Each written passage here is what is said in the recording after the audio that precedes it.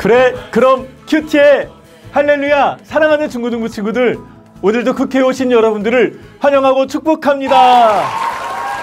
어느새 봄이 훅 찾아온 것 같습니다. 여기저기 뭐 예쁜 꽃들도 보이고요. 만물이 다시 태어나는 지금 우리도 말씀으로 다시 태어나길 소망합니다. 자 그럼 다 같이 기도하심으로 오늘의 국큐 시작하겠습니다 사랑과 은혜가 풍성하신 하나님, 오늘도 우리를 말씀의 자리에 인도하심에 감사합니다. 말씀을 듣고, 말씀을 깨닫고, 말씀대로 살아가게 하여 주시옵소서 예수님의 이름으로 기도합니다. 아멘. 하나님께서 오늘 우리에게 주신 말씀은 사무엘상 24장 16절에서 22절까지 말씀입니다. 먼저 목사님과 한 절씩 교대로 봉독하시겠습니다. 다윗이 이 말을 마치자 사울이 내 아들 다윗아 내 목소리가 아니냐라고 말하며 큰 소리로 울었습니다. 그가 또 말했습니다. 나는 너를 못살게 굴었는데 너는 내게 이렇게 좋게 대하니 네가 나보다 의롭구나.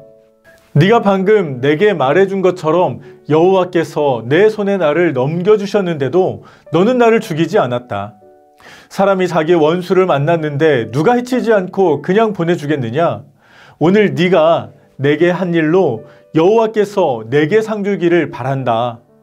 나는 내가 분명 왕이 될 것이고 이스라엘 왕국이 내 손에 세워지리라는 것을 알고 있다. 지금 여호와의 이름으로 내게 맹세하여라. 내가 내 자손을 끊어버리지 않고 내 이름을 내 아버지의 집안에서 지우지 않겠다고 말이다.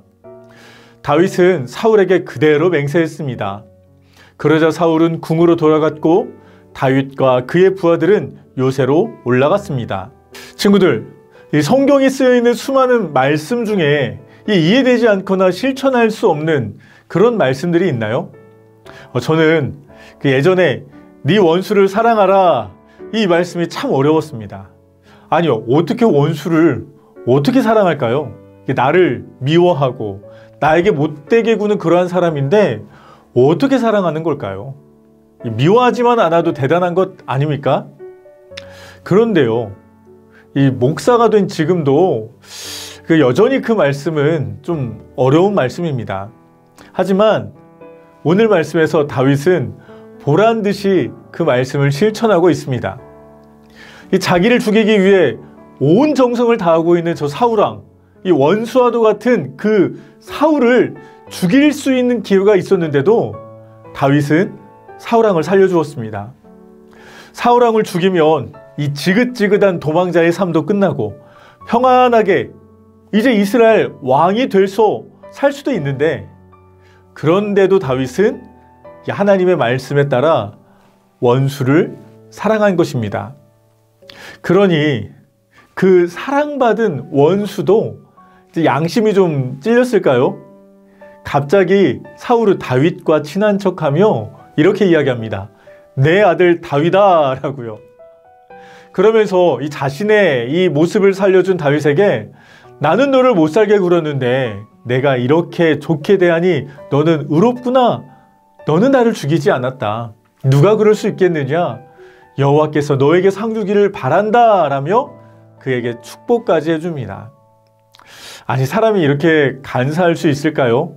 그렇게 막 잡아 죽이려고 할 때는 언제고 이제는 축복까지 빌어주니 말입니다.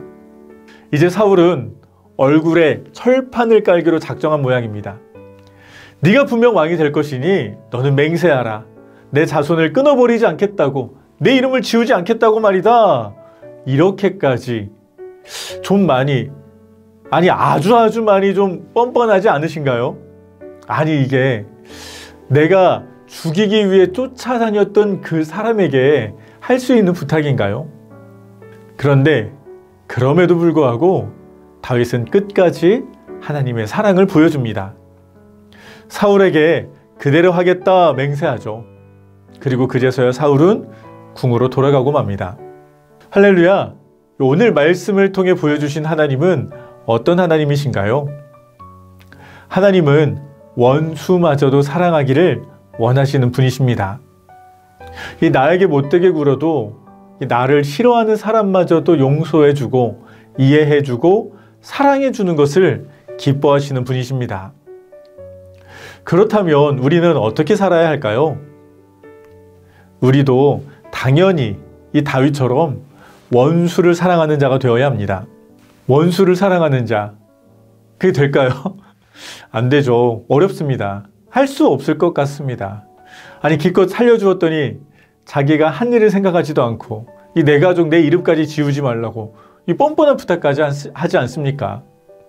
그런데 그럼에도 불구하고 사랑해야 할 줄 믿습니다. 그것을 하나님께서 원하시고 기뻐하시기 때문이죠. 나에게, 우리에게 원수는 누구인가요? 나는 그 사람을 어떻게 대하고 있나요? 한 주일 동안 내가 그 사람을 사랑할 수 있는 방법 곰곰이 묵상하고 그 원수를 사랑하는 노력이 있는 이번 한 주가 되길 소망합니다. 기도하시겠습니다. 하나님, 우리를 사랑하여 주신 그 예수님의 사랑으로 우리도 원수를 끝까지 사랑하는 은혜 더하여 주시옵소서 그 사랑을 실천할 수 있도록 함께하여 주시옵소서 감사드리며 예수님의 이름으로 기도드립니다. 아멘.